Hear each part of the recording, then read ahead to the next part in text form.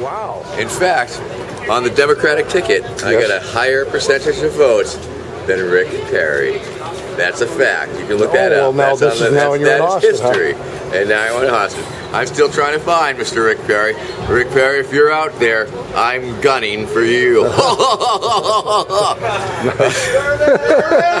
Vermin rocks. Where's my pony, dog? it's in the it's in the mail, man.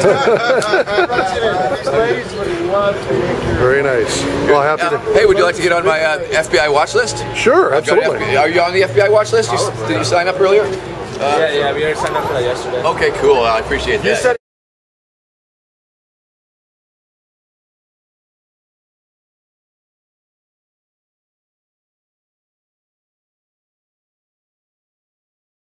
Guaranteed me a pony. Oh, I, all it guarantees you is a place in the pony line, including you get the Place in the pony line. pony See, that's that's But you're at the head of the line. That's big You might government. be able to get in the pony line too. Yes. Big government. Yes, Seth.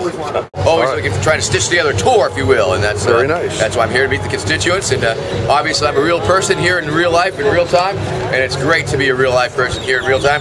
Vermin Supreme, the friendly fascist, the time you can trust. Let me run your life. I know what is best for you. IRL.